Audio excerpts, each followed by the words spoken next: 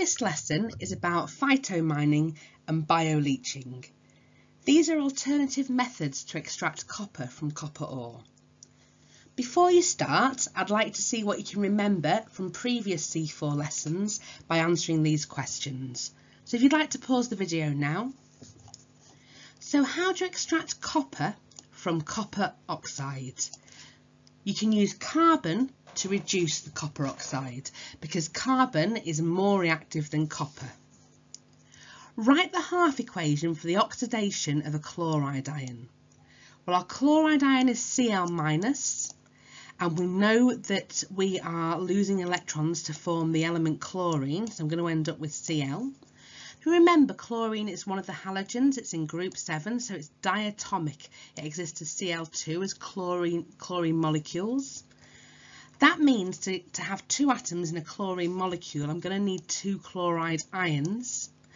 And each chloride ion needs to lose an electron. And I know this is the oxidation because oil rig oxidation is a loss of electrons. Write the half equation for the reduction of a sodium ion. So my sodium ion, Na+, I know that I'm going to to, to gain electrons in a reduction and end up with a sodium atom. And Na plus is going to need to gain one electron to become the sodium atom. And I can see it's reduction because reduction is gain of electrons. What would be produced at the electrodes in the electrolysis of aqueous copper sulfate? Now copper sulfate contains two ions, copper Cu2 plus and the sulfate ion SO4 2 minus. It's a good idea to remember that sulfate ion to learn that off by heart. Because it's aqueous, I know that it's dissolved in water, so the water also provides two ions to that solution, H plus and OH minus. So my cations my positive ions are Cu2 plus and H plus. So one of these is going to be produced at the cathode, the negative electrode. And it's the least reactive. And copper is less reactive than hydrogen, so at the cathode we get copper. The anions, the negative ions, SO42 minus and OH minus, are going to be uh, going to move towards the anode, the positive electrode. At the positive electrode, I will always get a halogen if I have one of the halide ions, one of those ions from group 7, like chloride or a bromide ion. But I don't have a halide ion here. So if I don't have a halide ion, what we get forming at the anode, the positive electrode, is oxygen. The title of this lesson is Phytomining and Bioleaching. And we're going to have a look at what they are and we're going to describe the processes of phytomining and bioleaching and also look at the advantages and disadvantages of the different methods of extracting copper and evaluate these methods of metal extraction. This is a copy of what is on the specification for phytomining and bioleaching. It's actually from C10, but we're teaching it in C4 because it fits in well. In C4, we're teaching about the electrolysis um, of metal compounds to extract metals and we're teaching about reducing metal oxides using carbon and phytomining and bioleaching are an alternative way of extracting metals from ores. So copper ores are becoming scarce, they're running out, and these are new ways of extracting copper from low-grade ores. Now a low-grade ore is an ore that has only a small percentage of copper in it, whereas a high-grade ore would have a much larger percentage of copper. Phytomining uses plants to absorb metal compounds and bioleaching uses bacteria. And you need to be able to describe both these processes. So copper has many uses in today's society. We use it for electrical wires, so the wiring in your house will be copper. Will be copper.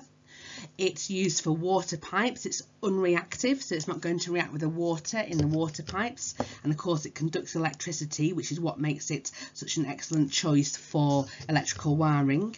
It's used in motors. So, for example, a motor from, electric, from an electrical car will contain copper. And there's an example of copper roofing here. There's quite a high demand for copper. Carbon is above copper in the reactivity series. So we can reduce copper oxide using carbon to extract the copper. And this is what we do with high grade copper ore. When we heat copper oxide up with carbon, it's called smelting. And that is a way of extracting the copper. Now, copper mining involves digging, moving and disposing of the waste rock. So these are open pit copper mines and we're literally digging out copper ore, so rocks containing copper, from the, the crust of the earth. There are large amounts of waste rock in this process. It creates large holes in the earth's crust it requires an awful lot of energy. We have to power the machines that are used for digging and transporting the copper ore. And it's only worthwhile extracting high grade ores. It's only economical for us to use smelting to extract the copper from the ore when there's a large percentage of copper in the ore. The advantages of this method of extracting copper are that a lot of copper can be extracted from the open mining, it makes a lot of money for the company and government, provides jobs for local people. And the disadvantages are that it's dangerous, it creates pollution from cars, dust and noise, so you wouldn't want to live near um, a copper mine. And it requires energy to extract copper from the ore, which creates carbon dioxide. So if we're using fuels um, to provide us with energy, uh, a product of the combustion of those fuels is carbon dioxide, which is a greenhouse gas. Now these are high grade copper ores. So we have chalcopyrite and malachite. Chalcopyrite is copper iron sulfide and malachite is a copper carbonate hydroxide. We're running out of places to get high grade copper ores. These are finite resources. We're finding them in the Earth's crust and eventually they will run out completely. For low grade copper ores, it costs more to extract the copper by smelting than you get for selling it. So it has a low grade copper ore only has a small percentage of copper um, for in the actual ore itself. Phytomining is a process that uses plants to extract metals. So phytomining is a way of extracting copper from low-grade ores and it's from a Greek word, um, phyton, meaning plant, and mining is, uh, the origin's uncertain, but it was a pit or a tunnel uh, made for the purpose of obtaining metals and minerals. So in phytomining, the first step is that plants are planted in soils which are copper rich. There's lots of copper ions in these soils and they are absorbed by the roots of the plant.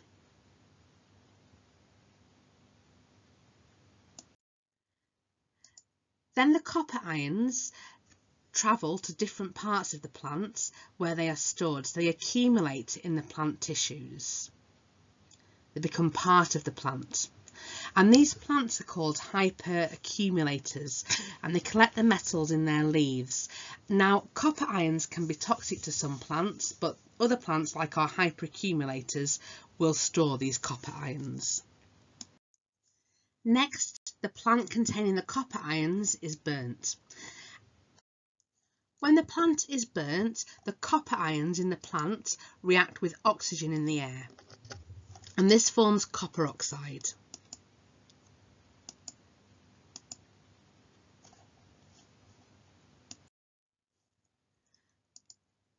Copper oxide is a black solid and we have this ash now from burning the plant that contains the copper oxide. We can react that with sulfuric acid and that will give us a solution of copper sulfate which is this um, clear blue colour. We have done this in the chemistry lab. So we, as a required practical, we took copper oxide, a black powder, and we reacted it with sulfuric acid, and that produced the copper sulfate and water. What we will have done is we will have filtered the copper sulfate solution to get rid of the excess copper oxide. And once we had this clear blue solution. We heated it up using an evaporating basin and probably left it on the side for a couple of days to produce copper sulfate crystals. Now we can extract the copper from the copper sulfate solution using electrolysis. So the copper ions will move towards the negative electrode and copper will be produced. Because we have copper ions, Cu2 plus, in the copper sulfate solution. And at the negative electrode they gain electrons to form copper metal. And we've extracted copper using phytomining. I'd like you to have a go at this video to describe and explain the process of phytomining and have a think about the advantages and disadvantages of phytomining. So if you pause the video now. Okay, so plants absorb copper compounds through their roots. That would be one mark. The plants are then burned, so the copper ions react with oxygen.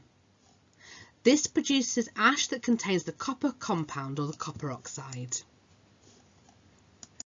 So the advantages are that this uses low-grade copper ore. It requires less energy than smelting, so it will be cheaper, and it produces less air pollution. The disadvantages are the burning process particularly can produce toxic chemicals. It's a much slower process, it takes much longer and electrolysis requires large amounts of electricity so this will cost money to generate that to generate that energy The second alternative method of metal extraction that we're going to look at is bioleaching. And this is a process that uses bacteria to leach metals. Leaching is when soluble chemicals and minerals drain away from, um, from soils uh, in the water. So it comes from an Old English word meaning to wet or irrigate. So bioleaching uses bacteria to produce leachate solutions that contain metal compounds. The bacteria are mixed with the low-grade copper ore and they produce a leachate. A leachate is simply the solution we get when a liquid passes through an organism and the leachate will contain the metal compound for example copper sulfate. So iron is more reactive than copper and there is lots of cheap scrap iron. So you can see here that iron is above copper in the reactivity series. That means that we can use iron to displace copper from the copper compound that is in the leachate. So the copper compound from the leachate I have here is copper sulfate, our clear blue solution. We add the scrap iron. The iron will displace the copper from the copper sulfate and we have iron sulfate and our orangey brown copper metal which has been extracted. Another way to extract the copper from copper sulfate is to use electrolysis. So in electrolysis we know our copper ion will go to the negative electrode, the cathode. It will gain two electrons and form copper metal. Bioleaching is, is very economical, it's a very simple process, so it's cheaper, it requires fewer specialists. It can be used for extracting copper from low-grade ores, and it's environmentally friendly so that less damage occurs to the environment. It is a very slow process though, it can take up to two years and that means it can there can be a delay in getting any profits from manufacturers. And it can also produce toxic chemicals such as sulfuric acid that can leak into the water. So I'd like you to pause the video now and have a go at this question. So bioleaching. What is bioleaching Describe what the leachate is and how it is formed, including the types of organism involved. And evaluate bioleaching. Give three advantages of bioleaching and three disadvantages of bioleaching. Okay, so if you grab your green pen, bioleaching is the extraction of specific metals from their ores using bacteria. This should be question two. The leachate is a solution that contains the copper compound. It is produced by bacteria and is formed when a liquid passes through an organism. And the advantages of bioleaching are that it is a simple process, it is a cheap process, you can use low-grade ores, it's environmentally friendly so there's fewer waste gases produced. The disadvantages are that it is a slow process, toxic chemicals are produced and it has a low efficiency. So the, the efficiency of the bacteria converting the copper ore into a copper compound in the leachate is very, very low. I've just included a, an evaluation there for you to compare bioleaching and phytomining. Um, you can pause the video and, and have a read through.